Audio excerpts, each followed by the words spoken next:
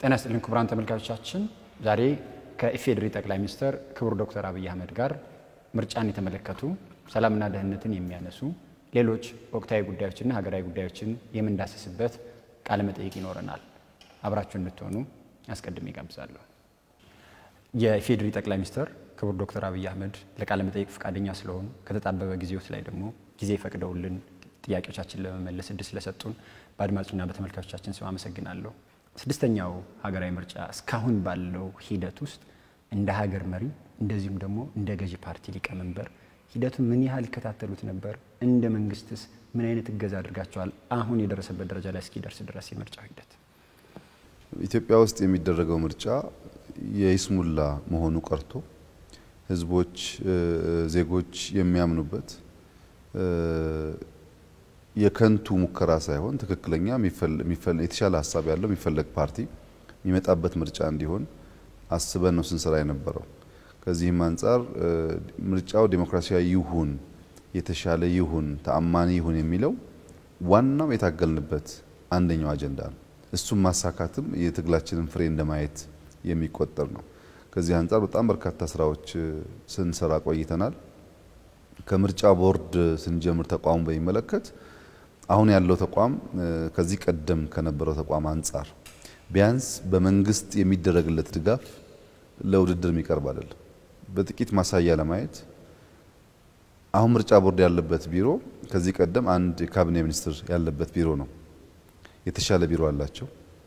ከቢሮ ባሻገር አመራሩን በሚመለከት ሙሉ በሙሉ ሁሉም የቦርድ አባላት ከመንግስት ምንም አይነት ጣልቃ ገብነት ውጪ የተቃዋሚ ፓርቲ አመራሮችም የሚመለከታቸው ባለድርሻ አካላትም በውይይት ያመጧቸው አባላት ናቸው። አንድም ሰው ላይ መንግስት የራሱን ፍላጎት ማሳረፍ መጫን አልሞከረም። ስለዚህ ቦርዱ አመጣጡ በራሱ ከኛ የተለየ ወይም ከኛ ምርጫና ሹመት የወጣ ነው ማለት ነው። ሶስተኛው በጀት ነው። ዘንድሮ ምርጫ ቦርድ የተሰጠው በጀት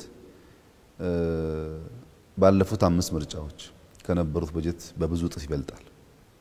በበጀት በአመራር በቢሮ ብቻ ሳይሆን በህግ ደግሞ ህግ አሻሽለን ከዚህ ቀደም የነበረው ምርጫ ቦርድ እንደ ቦርድ አልፎ አልፎ የሚገናኝ institution አልነበረም። በ institution ደረጃ የሚመራ አልነበረም። የአሁኑ ግን ሙሉ ጊዜ ሰጥተው የሚኖሩ አመራሮች ናቸው የተመደቡት። ሰራተኛ ለማሻሻል ተሞክረዋል። በመንግስት በኩል እነሱ የሚፈልጓቸውን ድጋፍ ከመደገፍ ውጪ በየትኛውም ውሳኔያቸው ውስጥ ጣልቃ ገብተን አናውቅም። በስራቸው ውስጥ ጥያቄ ሲያቀርቡ ድጋፍ ከመስጠት ባሻገር የእኛን ፍላጎት ለመጫን ሙከራዎች አልነበሩም። ይህን የምርጫ ቦርድ በደንብ የሚያውቀው ጉዳዩ ነው። በድምሩ ተቋም እንዲፈጠር የተሳካ ምርጫ እንዲካሄድ አስፈላጊ የሚባል ድጋፍ በመንግስት በኩል ተሰጥቷል። እኛ ዓላማችን አራት ነው። አንደኛውና የመጀመሪያው በሁሉም መመዘኛ ዴሞክራሲያዊ ምርጫ እንዲሆን ማስቻል ነው። ዜጎች የሚያምኑበት እኛም መልካም ስራ ሰራን ብለን የምንኮራበት የተሻለ ምርጫ ማካሄድ ነው። ሁለተኛው ቀድመው ይደረጉ የነበሩ ስህተቶች መቀነስ ነው። በገዢው ፓርቲ የሚደረግ ስህተት መቀነስ ነው። ሶስተኛው ደግሞ ካሸነፍን ታምነን ማገልገል፣ ከተሸነፍን ደግሞ አቅፈን እጅ ስመን አመስግነን መስጠት ነው። እነዚህን አራት ግቦች ለማሳካት ከተቋም መፍጠር ጀምሮ እስካሁን ባለው ሂደት ውስጥ በንጽጽር የተሻለ ጉዞ ተጉዘናል ብለን መናገር የሚያስደፍር ስራ ተሰርቷል። ስድስተኛ ሀገራዊ ምርጫ በጣም ብዙ ሂደቶችን ያለፈ ነው። ብዙ ፈተናዎችንም የተሻገረ ነው። መጀመሪያ በኮሮና ምክንያት እንዲራዘም ሀሳብ መጣ። ህገ መንግስታዊ ትርጉም ተሰጠው። ህገ መንግስታዊ ትርጉም ተሰጥቶት ምርጫው ይካሄድ የሚል ሀሳብ ከቀረ በኋላ ምርጫው ይካሄድ አይካሄድም የሚሉ ቡድኖች ተፈጠሩ። አንዳንዶቹ የሽግግር መንግስትም እንዲፈጠር የሚጠይቁ አካላት ነበሩ። በዚህ ሂደት ውስጥ እንደ ሀገር መሪ እርስዎ እነዚህ ሀሳቦች ኢትዮጵያ ውስጥ ሲስተናገዱ የእርስዎ ሀሳብና አቋም ምን ነበር? ምርጫውን በሚመለከት ባለፈው ምርጫው እንዳይራዘም በአንድ ዓመት ምርጫው እንዳይራዘም በጣም ጠንካራ አቋም የነበረኝ በእኛ ደረጃ እንደዚህ አይነት አቋም የነበረው ፓርቲ ለመኖሩ እርግጠኛ አይደለሁም። እኛ በከፍተኛ ደረጃ ውሳኔውን ለመቀበል ተቸግረን ነበር። ምርጫ መደረግ አለበት በጊዜው የሚል የጸና አቋም ነበረን። ነገር ግን ምርጫ ቦርድ ጋር በነበረን ውይይት ምርጫውን በዚያ ጊዜ ኮሮና ገና ተሰምቶ ሁለት ወር በቀረው ጊዜ ውስጥ ለማካሄድ የሚያስችል ሁኔታና ብቃት የለኝም የሚል ሀሳብ ሲቀርብ ምንም እንኳ በወቅቱ እንዲደረግ ፍላጎት የነበረ ቢሆንም ነገር ግን እነሱ ማስፈጸም አቅም እና ሁኔታ አልተመቻቸልንም እያሉ ምርጫው እንዲደረግ መግፋት ውጤቱን ያማረ አያደርገውም። በወቅቱ ኮሮና መጀመሪያ መግባት በጀመረበት ወቅትና የመጀመሪያው ምርጫ በተራዘመበት ወቅት የብልጽግና ፓርቲ አቋም ምርጫው በተያዘለት ጊዜ እንዲካሄድ ማድረግ ነበር። የጸና አቋም ነበረን። በጊዜው ምርጫ ይካሄድ የሚል የጸና አቋም ነበረን። በወቅቱ ሲቀርቡ የነበሩ ክሶችን ላንሳ። ብልጽግና ፓርቲ የምርጫውን መራዘም ለበለጠ መዘጋጀት ይፈልገው ነበር። እሱ ውሸት ነው። አንደኛ ምርጫ ቦርድ በራሱ የምርጫ መራዘም ጉዳይ በሚመለከት የሚፎካከሩ ፓርቲዎችን ሲያወያይ የብልጽግና አቋም ምን እንደነበረ የተቀረጸ ቪዲዮ እነሱ ጋር አለ። ከዚያም ባሻገር እኔ በምመራው መድረክ ላይ ከምርጫ ቦርድ ሰብሳቢዋ ጋር በነበረን ንግግር በግልጽ የነበረን ፍላጎት እኛ ምርጫውን ይካሄድ ነው። ምርጫው እንዳይካሄድ ያለፍንበት ዋናው ምክንያት በወቅቱ ምርጫውን ለማካሄድ የሚያስችል ሁኔታ የለምና አልችልም የሚል መከራከሪያ ምርጫ ቦርድ ስላቀረበ ገበሬው መሬቱ የሚቀበለውን ቶ ራሱ የሚፈልገውን ዘራ እንዳይሆን መሻት ብቻ እንዳይሆንና አጠቃላይ ውጤቱ የምንፈልገው ሳይሆን እንዳይቀር በመስጋት ምንም እንኳ መሸጋገሩን እንደ ጥሩ ነገር ባናይም ተሸንፈን ትተነዋል፣ ተቀብለነዋል ሀሳቡም ማለት ነው። ከዚያ በኋላ ባሉ በርካታ የምርጫ ቦርድ ውሳኔዎች በሁሉም እኛ እንደ መንግስት እንስማማለን ማለት አይደለም። ብዙ የማንስማማባቸውና የማይዋጡሉ ውሳኔዎች ይሰጣሉ። ነገር ግን የማይስማማችሁና የማይዋጡላችሁን ውሳኔዎች የምትቀበሉት የምንቀበለው ተቋም ለመገንባት ካለን ፍላጎት ነው። እኛ መንግስት ነን። የሚወሰኑ ውሳኔዎች እየገባን የምንቀይር፣ የምንሰርዝ፣ የምናሻሽል ከሆነ የምናስበውን ነፃ ገለልተኛ ተቋም አንገነባም። በዚያ ምክንያት ሀሳቡን ባንስማማበትም ተቀብለን እንፈጽማለን። ውሳኔዎቻቸው ላይ ጣልቃ የምንገባ ከሆነ የተቋሙን ነፃና ገለልተኛ መሆን ስለምንጫን በዚያ ምክንያት ብዙ ውሳኔዎች ሳናምንባቸው ሳንፈልጋቸው የምንፈጽማቸው አሉ። በሙሉ በሚወሰኑ ጉዳዮች ውስጥ ብዙ ሰው የሚያስበው መንግስት እንደወሰነ ነው። መንግስት የማይዋጥለትና የሚቆረቁረው ውሳኔ ጭምር ነው የሚያስፈጽመው እንጂ አጠቃላይ እየተወሰኑ ያሉ ውሳኔዎች መንግስት እንደ ትክክለኛ ውሳኔ ወይም እንደ ጠቃሚ ውሳኔ አያቸው። ነገር ግን ተቋሙ ነፃና ገለልተኛ እንዲሆን ሲባል ተቋም መገንባት ደግሞ አድካሚና አታካች እንደሆነም ስለምናቅ አንዳንዱን ጉዳይ እየተሸነፍን እየተቀበልን እናስፈጽማለን። ይሄ ትዕግስት ባለው መንገድ አልፎ አልፎ እየተሸነፍን አልፎ አልፎ እያለፍንና እየተውን ካልሄድን የምናስበውን ተቋም ልንፈጥር አንችልም። ያ ስለሆነ ነው እንግዲህ አልፎ አልፎ ውሳኔዎች ሲወሰኑ ከምርጫ ጊዜ መራዘም ጀምሮ እየተቀበልን የመጣ ነው። የሽግግር መንግስት እንዲቋቋም ፍላጎት የነበራቸው ኃይሎች ነበሩ ለተባለው የሽግግር መንግስት እንዲቋቋም የነበረው ሀሳብ አብዛኛው ሀገር በቀል አይደለም። አዎ ቀድሞ እኛን የሚያናግሩን ስለነበረ ሀገር በቀል ሀሳብ አይደለም። ነገር ግን እኛ ሁልጊዜ ሰመር የሰማናቸውን ጉዳዮች የእኛ አድርገን ሀሳብ አድርገን የማምጣት ልምድ ስላለን ነው እንጂ ብዙ ሰዎች የውጭ ሰዎች እንደዚህ አይነት ሀሳብ ያነሱ ነበር፣ በጽሁፍም ያካፈሉን ነበሩ። ክቡር ጠቅላይ ሚኒስትር የሽግግር መንግስት ምስረታን ጉዳይ መንግስቶት ያልተቀበለው ከውጭ የመጣ በመሆኑ ነው ወይስ ሀሳቡ ለኢትዮጵያ ስለማያስፈልግ ነው? የሽግግር መንግስት በኢትዮጵያ ማለት ለምሳሌ የኢትዮጵያ ህገ መንግስት ዛሬውኑ ይቀደድ አላስፈላጊ ስለሆነ የኢትዮጵያ ህገ መንግስት በፍጹም መነካት የለበትም። እንዳለ እንደ ሐውልት መቀመጥ አለበት። እንዲነካ እንዲታረም አንፈልግም። የለም ይሄ ጉዳይ የሰዎች ሀሳብ ነው፣ በጊዜ ብዛት እየመረመርን እየፈተሽን ለሀገር በሚበጅ መንገድ እያረምን መሄድ እንችላለን የሚሉ ሶስት በተለያየ ጽንፍ ውስጥ ያሉ ኃይሎች አሉ። እነዚህ ነው በጋራ መንግስት ይሆኑ እያልን ያለ ነው። እንደዚህ አይነት extreme thought በሚኖርበት ሰዓትና ኢትዮጵያ አሁን ባለችበት ሁኔታ ውስጥ ስራ ልሰራ አትችልም። እንኳን እንደነዚህ አይነት ጽንፍ የያዙ አስተሳሰቦች ይቅርና እኛ በአንድ ላይ ለውጥ ብለን የመጣን ኃይሎችን ብንሆን በብዙ እንፈተናለን። የውጭ ጫናው አለ፣ የጂኦፖለቲክሱ አለ። አጠቃላይ ሀገራችን ባለችበት ሁኔታ ውስጥ ትክክለኛው የሽግግር መንግስት ሂደት ምርጫ ነው። ምርጫውን ዲሞክራሲያዊ ማድረግ ነው። ከዚያ ምርጫው ላይ የተሳተፉ ኃይሎች አሸንፎ ወንበር ስለያዙ ብቻ ሳይሆን በህዝብ ያላቸውን ድምፅም ታሳቢ ያደረጉ ስራዎች ሊሰራ ትችላለን። ኢትዮጵያ ውስጥ መቶ ምናምን ፓርቲ ነው ያለው። ይሄ ፓርቲ የቤተሰብ ይሁን የሰፈር ይሁን የዘር ይሁን የሃይማኖት ይሁን ምንም ማረጋገጫ የለውም፣ ፓርቲ ነው። ነገር ግን ለውድድር ቀርቦ አንዳንዱ 10 ሲት፣ 20 ሲት፣ 50 ሲት ያሸንፋል። አንዳንዱ የተሟላ ሲት እንኳ ባያሸንፍ በብዙ ሺህ የሚቆጠር ደጋፊ ይኖረዋል። እነዚህን ታሳቢ እያደረግ ይህ አስተሳሰብ ከኋላ ደጋፊ ስላለው ከነዚህ ኃይሎች ጋር እየመከር አገር ብንመራ የሚል ሀሳብ ለመያዝም የህዝብ ቀጥታ ተሳትፎን ይጠይቃል እንጂ ስብስቦ የተሰበስበው እኛ ፓርቲ ነን ስላሉ ብቻ እነሱን ሰብስበህ የሽግግር መንግስት የሚል ኢትዮጵያ ውስጥ ብናስበውም አናሳካውም። አልተሳካም። ብዙ ሀገራት እንዳልተሳካው እኛ ጋርም አይሳካም። በዚያ ምክንያት ነው አይጠቅመንም። የሚጠቅመን በምርጫ ህዝብ የሚፈቅደውም የሚፈልገውን መንግስት ቢመርጥ ይሻላል የሚል ሀሳብ በተደጋጋሚ እኛ የምናራምደው ኢትዮጵያውያን በዲሞክራሲያዊና በታማኒ ምርጫ የሚመረጥ መንግስት ይፈልጋሉ። በዲሞክራሲያዊና በፍትሐዊ ምርጫ ስልጣንን የሚያሸጋግር ወይም ደግሞ የሚሰጥ ፓርቲም ይፈልጋሉ። ኢትዮጵያውያን የፈለጉትን ቢመርጡ የእርስዎ የሚመሩት ፓርቲ ውሳኔያቸውን ለመቀበል ምን ያህል ዝግጁ ነው? የኛ ዋነኛ ፍላጎት ኢትዮጵያን አሸናፊ ማድረግ ነው።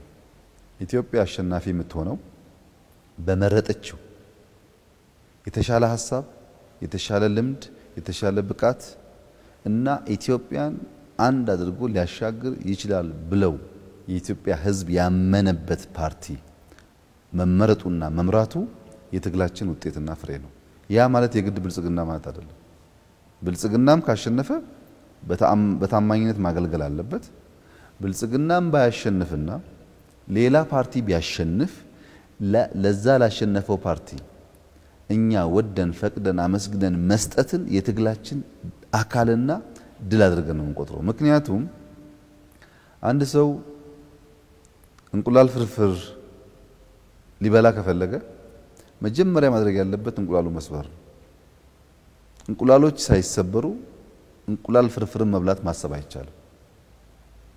ዴሞክራሲያዊ ምርጫን ኢትዮጵያ ውስጥ ማምጣት ግብ አድርገህ ተነስተህ ስትሸነፍ የማትሰጥ ከሆነ ዴሞክራሲያዊ ምርጫ የሚባል ህልምና ፍላጎት በውስጥ የለም ማለት ነው። አንድ ሰው ቤት ልገንባ ብሎ ተነስቶ ድንጋይ አልፈልጥም፣ አፈርን ከጭድ ጋር አላገናኝም፣ አላቦካም ቢል ቤት ሊገነባ አይችልም። እነዛ ጉዳዮች ቤት ለመገንባት በጣም አስፈላጊ መሰረታዊ ነገሮች ናቸው።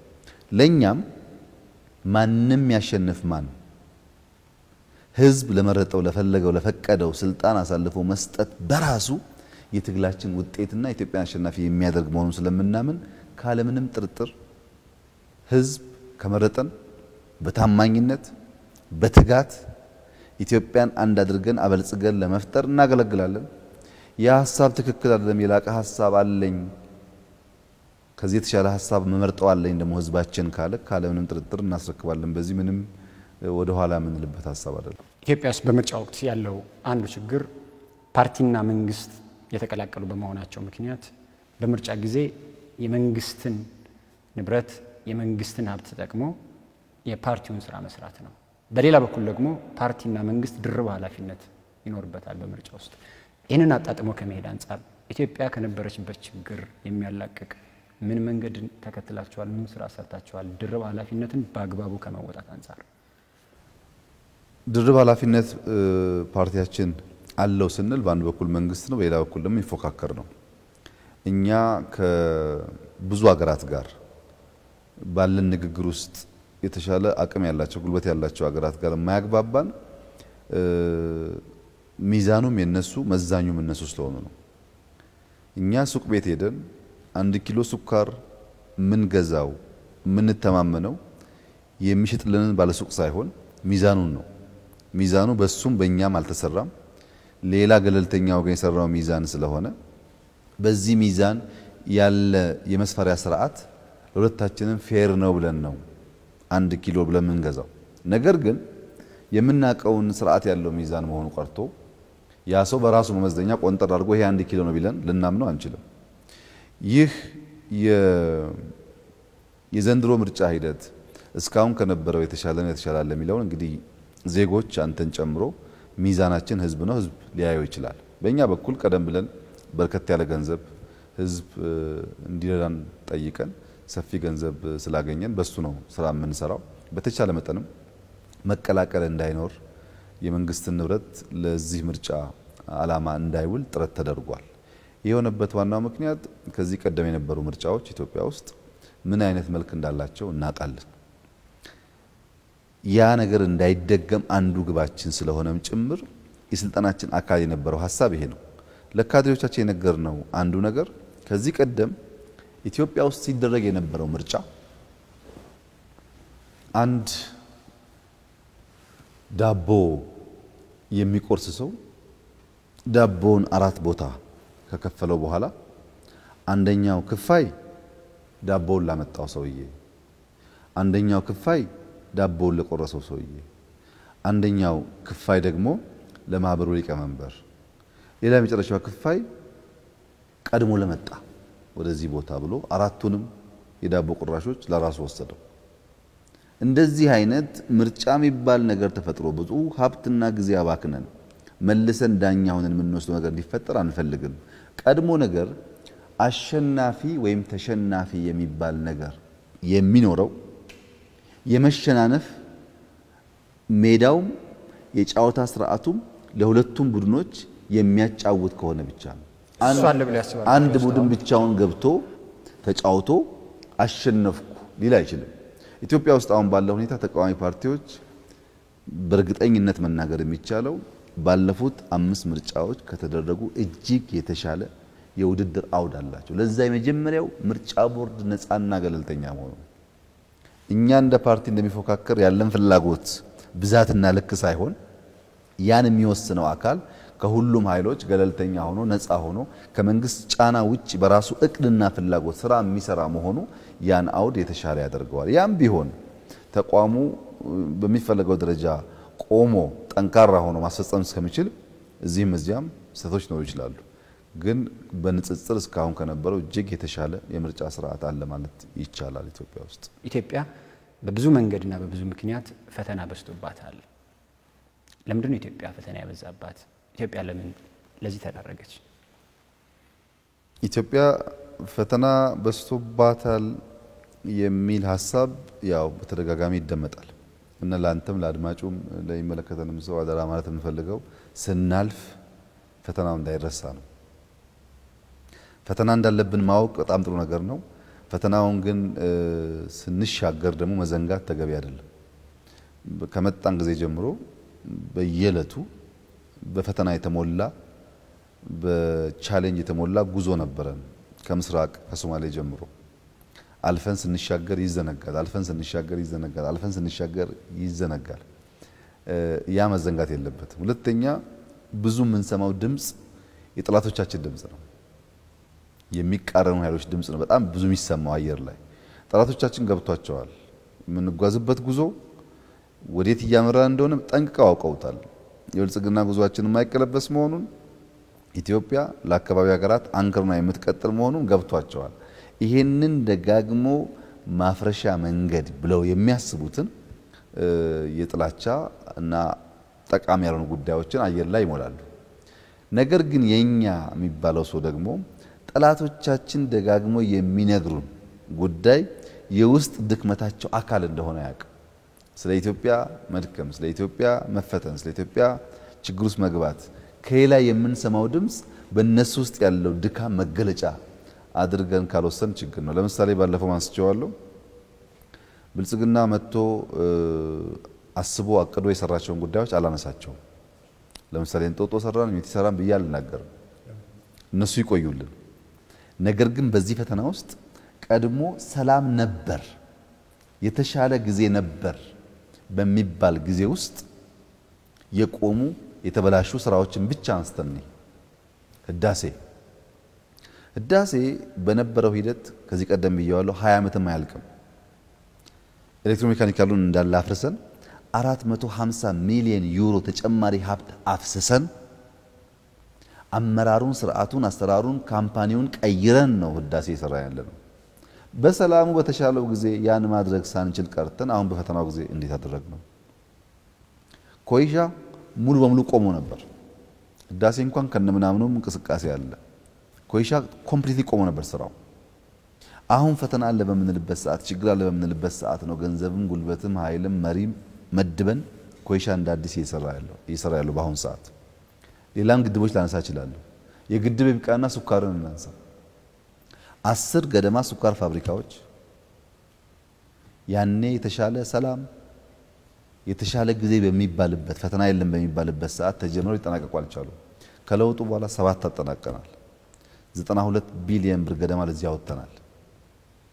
በፈተና ውስጥ የምንቆም ሳይሆን ፈተናን፣ ችግርን ተቋቁመን የምንሻገር መሆናችን ያለውን እንድምታ ማየት እንድንችል ነው። አራት አግሮ ኢንዱስትሪዎች ጀምረናል በአራት ክልሎች። በዚህ ፈተና በተባለ ጊዜ ውስጥ ሶስቱን አጠናቀናቸዋል። ከህንፃ ከፕሮጀክቶች አንጻር በጣም በርካታ ጉዳዮች ሊነሱ ይችላሉ። አንድ ሰው ተቀምጦ ዳገት እዚያ ማዶ እያየ እዚህ ዳገት ላይ በወጣ ይደክመኛል፣ እዚህ ዳገት ላይ ብጓዝ አደጋ ያጋጥመኛል፣ አውሬ ሊገጥመኝ ይችላል እያለ ተቀምጦ ሊያላዝን ይችላል። ወይም ደግሞ ትንሽ እየወጣ ሞክሮ የዳገቱ ጥንካሬና ክብደት ፈትኖኛ ብሎ ሊቆም ሊመለስ ይችላል። ነገር ግን ጨክነው የተራራው ጫፍ ላይ የወጡ ሰዎች ፈተናውን ማለፍ ብቻ ሳይሆን እዚያ የተራራ ጫፍ ላይ በመቆማቸው ምክንያት አሻግረው የሚያዩት አዳዲስ ተስፋ፣ አሻግረው የሚያዩት አዳዲስ እድል ይፈጠራል። እኛ የሚፈትነን ነገር እንዳይኖር አንፈልግም። የሚፈትነን ነገር እንዳያቆመን ነው የምንፈልገው። በፈተና መቆም አንፈልግም። በእርግጥ የሀገር መከላከያ ሚኒስቴርን ብንወስድ ብዙ ፈተናዎች ገጥመውታል። በእርግጠኝነት የምናገረው ዛሬ ያለው የሀገር መከላከያ ሚኒስቴር በኢትዮጵያዊነቱም በውስጥ ጥንካሬውም በተቋማዊ ግንባታውም ባለፉት 30 ዓመታት ኢትዮጵያ ካላት ወታደር በብዙ በእጅጉ የበለጠ ነው። አሁን ወታደር ነው እየፈጠርን ያለ ነው። ሰላምታ የሚያቅ ስርዓት የሚያቅ ሀገር የሚወድ ባንዲራ የሚያከብር ለባንዲራ መስዋዕት የሚሆን ወታደር ነው እየፈጠርን ያለ ነው። በእያንዳንዱ በተፈተንባቸው አውዶች ውስጥ የተሻለ ቁመና እየፈጠርን ለመሄድ እድል አግኝተናል። ፈተናዎቹን የምናየው በዚህ መንገድ ነገር ግን አሁን ሰሞኑን ካለው የኳስ ጨዋታ አንጻር እንኳን ወስደን ብንመለከት ሁለት የሚቃረኑ group ኦች በአንድ ሜዳ ውስጥ ኳስ ይጫወታሉ። በዚህኛው group ያለ በ A group ውስጥ ያለ አንድ አጥቂ ሰው ኳሱን ይዞ ለማጥቃት ቢንደረደር ከሚቃረነው ኃይል ሊገጥሙት የሚችሉት ጉዳዮች ከሞላ ጎደል ይታወቃሉ። አንደኛው በብቃት በልጦ በችሎታ በልጦ ኳሱ መቀማት ነው። ምንም ሕግ ሳይጣስ በተሻለ ብቃት ኳሱን ቀምቶ በወገን ኃይል ላይ ግብ እንዳያስገባ ማድረግ ነው። በብቃት የማትበልጠው ሰው አስቸጋሪ ሰው ከሆነ ሰውየው የሚያጠቃው ግለሰብ ዳኛ ሳያይህ ራስህን ደብቀህ ጎንትለህ ጎትተህ ጠልፈህ ኳሷ እንድትቀር እንድትጨናገፍ ማድረግ ነው። በችሎታም ካልበለጥክ ዳኛን ደብቀህም ማስቀረት ካልቻልክ ሶስተኛው ነገር ዳኛ እያየም ቢሆን ፋውል መስራት ነው።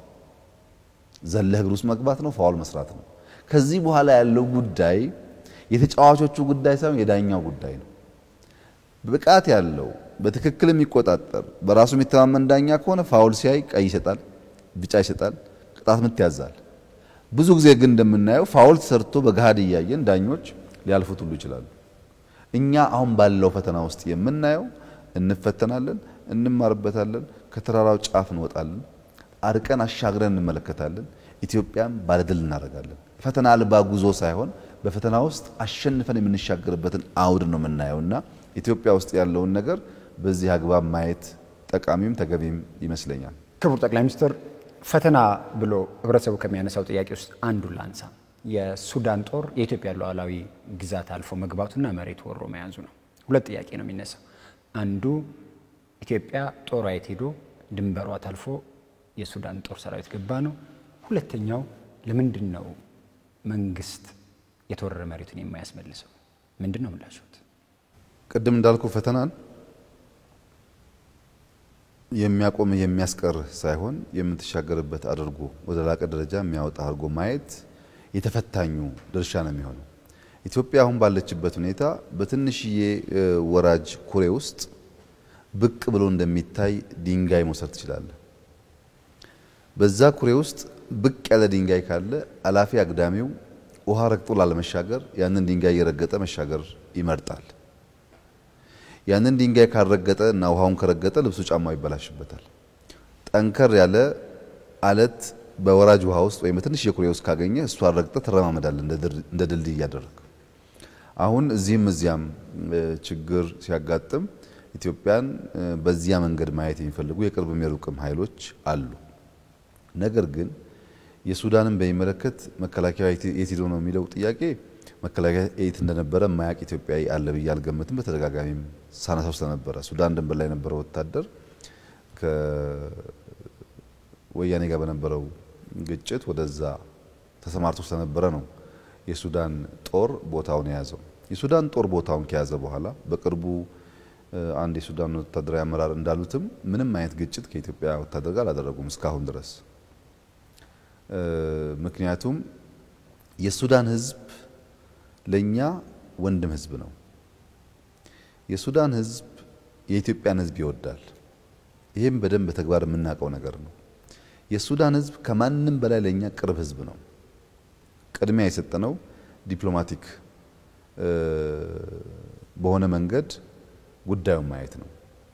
ምክንያቱም የድንበር ጉዳይ ከዚህ ቀደም ኢትዮጵያ ሞክረዋለች ከኤርትራ ጋር ከኤርትራ ጋር ሞክራ በጦርነት አሸንፋ ወደ ፍርድ ቤት ሄዳ የምናውቀው ነው ውጤቱ እና አሁንም ሰው ገለን ሰው መቶብን መሬት ከያዝን በኋላ ሄዶ ሄዶ ጉዳዩ ወደ ሕግ የሚቀርብ ከሆነ በዓለም አቀፍ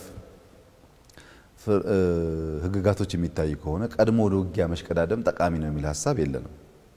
ለእኛ ብቻ ሳይሆን ለሱዳን ይጠቅማል የሚል ሀሳብ የለንም። እኛንም ሱዳንም የሚጎዳ ሀሳብ ነው። ሰክነን በውይይት ማየት ይሻላል ብለን እናስባለን። ይሄ ለእኛም ለእነሱም እንደሚጠቅም ጥርጥር የለውም። ከዚህ ውጭ ያለው አማራጭ እኛም የምንጎዳበት እነሱ የሚጎዱበት እንደሆነ ቅንጣት ጥርጣሬ የለንም።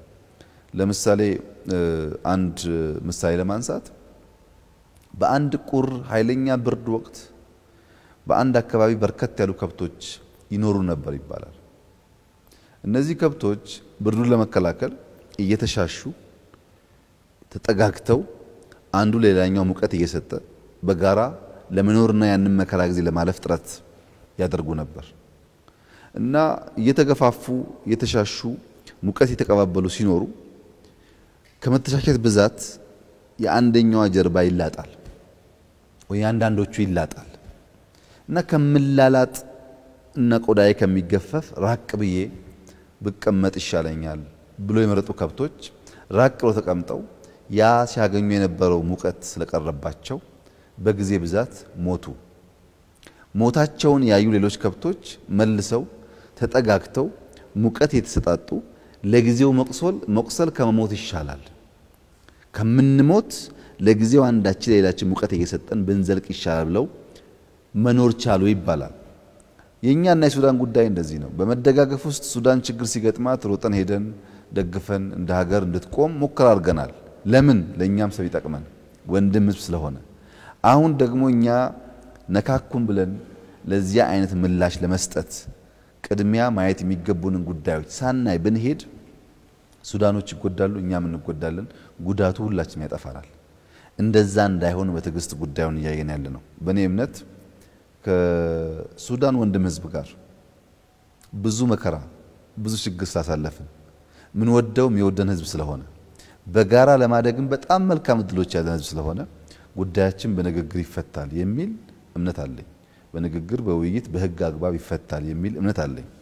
ነገር ግን እነዚህ ጉዳዮች ሁሉ በሁሉም ሙከራ ዝግ ከሆኑ ሁሉም ትዕግስት የማይመልሳቸው ከሆነ ያው እንደሚታወቀው ማንም ሰው ማንም ሀገር ሱዳን ብቻ አለ ማንም ሀገር ከህግ አግባብ ውጪ የኢትዮጵያን አንድ ስንዝር መሬት ወስዶ መቀመጥ አይችልም። ያ ሱዳኖችም ያውቁታል፣ እኛም እናውቀዋለን። ይህ ቦታ አከራካሪ ቦታ ነው። ቦርደር የሚባለው ጉዳይ የእኛም የነሱም ጉዳይ ሳይሆን የገዢዎች መስመር ነው። በገዢዎች መስመር ምክንያት ግጭት መፈጠር የለበትም። በንግግር ሰጥተን በመቀበል ልንፈታው እንችላለን። ለምሳሌ ኬንያ ብትወስድ የቦረና ኦሮሞዎች ከፊሉ ኬንያ ውስጥ አለ፣ ከፊሉ ኢትዮጵያ ውስጥ አለ። ዘሴም ቋንቋ የሚናገሩ አንድ ህዝቦች ናቸው፣ ግን ቦርደራችን መሀል ላይ ከፍሏቸዋል። በሶማሌ ብትሄድ እንደምታውቀው ከፊሉ ሶማሌ እዚህ ነው፣ ከፊሉ ሶማሌ እዛ ነው። ጅቡቲ ብትሄድ ከፊሉ ሶማሌ፣ ከፊሉ አፋር እዚህ ነው፣ ከፊሉ አፋር እዛ ነው። ኤርትራ ብትሄድ ከፊሉ ትግራይ እዚህ ነው፣ ከፊሉ ትግራይ እዛ ነው። አፋርም እንደዚሁ ብዙ ብሔሮች እኛ አካባቢ ላይ ግማሹ እዛ ሀገር፣ ግማሹ እዚህ ሀገር ይሆናል። አንድ ህዝቦች፣ ቤተሰቦች ይከፈላሉ። በእኛና ሱዳን መካከልም እንደዚሁ የምንጋራቸው ባህሎች፣ ቋንቋዎች፣ ህዝቦች ይኖራሉ። ይህንን በንግግር መፍታት፣ በትዕግስት ማየት ለእኛም ለነሱም ስለሚበጅ በከፍተኛ ጥንቃቄ ጉዳዩን እስካሁን መንግስት የሄደበት የትዕግስት እና ጉዳዩን በሰላማዊ ንግግር የመፍታት ሂደት የ- የተሻለ ውጤት ወይም ደግሞ ሁለቱም ሀገራት የሁለቱንም ጥቅምና ፍላጎት ባስከበረ መልኩ እንዲሄድ የሚያስችል ውጤት አይታችሁበታል። ምን አይነት ግምገማ ነው ያላችሁ? እንግዲህ አንድ የላቀን ነገር ለማግኘት ስትፈልግ የተሻለ ነገር ለማግኘት ስትፈልግ በትዕግስት በውይይት በንግግር እፈታለሁ ስትል የያሬድ የቅዱስ ያሬድ ትዕግስት ካልተላበስክ በስተቀረ ዘላቂ ድል አታመጣም። እየወደቁ እየተነሱ በትዕግስት መጠበቅ ነው ያሉት? ቅዱስ ያሬድ እየወደቀ እየተነሳ ብቻ ሳይሆን እየወደቀች እየተነሳች ያያትን ትል የመውደቂያው መጨረሻ ሳይሆን ከውድቀት ውስጥ ተነስቶ መሻገር ማለፍ እንደሚቻል አምኖ ጸንቶ ባይመለስ ኖሮ ያ ወደ አክሱም የሚያደርገው ጉዞ ቢሳካ ኖሮ አሁን የምናውቀው ዓለም የሚደነቅበት ፈጠራ አይኖሩ ነበረ። ትዕግስት ስትል ብዙ የምታልፋቸው ጉዳዮች አሉ። ከሱዳን ጋር ባለው የድንበር ግጭት እስካሁን በሰላማዊ መንገድ መሄዳችንን መንግስት በከፍተኛ ሁኔታ በቅርበት የሚከታተለው ብቻ ሳይሆን ትክክል ብሎ የሚያስበው ነው። ወደፊትም ቢሆን በንግግርና በውይይት ልንፈታው ይገባል ብለን እናምናለን። ምክንያቱም ይህ የመሬት ጉዳይ ብቻውን የቆመ ጉዳይ አይደለም። አብሮ የሚከቡት በጣም ብዙ ጉዳዮች ስላሉ እያንዳንዱ ጉዳይ በየራሱ በየራሱ perspective እያየን ካልፈታን በስተቀረ ዝም ብለን ዘለን የምንገባበት አንዱ አንደኛውን እየጎተተ የተወሳሰበ ጉዳይ ውስጥ አስገብቶን ባለድል ስለማያደርገን ትዕግስቱ አስፈላጊ፣ ተገቢ እና ጠቃሚ ነበር። ይቀጥላልም። የሚቀጥለው ትዕግስት ግን ultimately የኢትዮጵያን መብቶች እና ግዛቶች የሚነካካ በሚሆንበት መንገድ አይፈጸምም። በሕግ በስርዓት በውይይት ፈር ይይዛል የሚል ጽኑ እምነት ነው ያለን። በዛ አግባብ ነው እየሄድን ያለን። ወደ ታላቁ የህዳሴ ግድብ እንለፍ። ታላቁ የህዳሴ ግድብ ቀደም ሲል ተናግሮታል። በዚህ ቃለ መጠይቅ ከአሁን በፊትም ሲናገሩ ነበር። ከሞት ታድገነዋል ብለዋል። ከሞት ታደግ ነው ያሉት ታላቁ የህዳሴ ግድብ አሁን የት አደረሳቸው? አንድ ሰው ወደ ሞት ጎዳና እየሄደ እያለ ወደ ሕክምና ቢሄድ ሕክምና ሄዶ ተመርምሮ በሽታው ከተለየ በኋላ መድኃኒት ሲሰጠው የሚሰጠው መድኃኒት ለአንድ ወር ሊሆን ይችላል፣ ለ15 ቀን ሊሆን ይችላል፣ ለሶስት ዓመት ሊሆን ይችላል። መድኃኒቱን እየወሰደ በሄደበት ጊዜ እያገገመ እያገገመ የሆነ ጊዜ ላይ የበለጠ ጥንካሬ እየያዘ ይቆማል ማለት ነው እንጂ አንድ ያመመው ሰው ዛሬ ሆስፒታል ሄዶ አንድ መርፌ ስተወጋ ወዲያውኑ ቆሞ ጤነኛ ሆኖ ይመለሳል ማለት አይደለም። ህዳሴን እደግመዋለሁ፣ ከሞት ታድገነዋል። ህዳሴ ወደ ሞት እየተጓዘ ሳይሆን ወደ ህይወት እየተጓዘ ነው ያለው። ምንም ጥርጥር የለውም።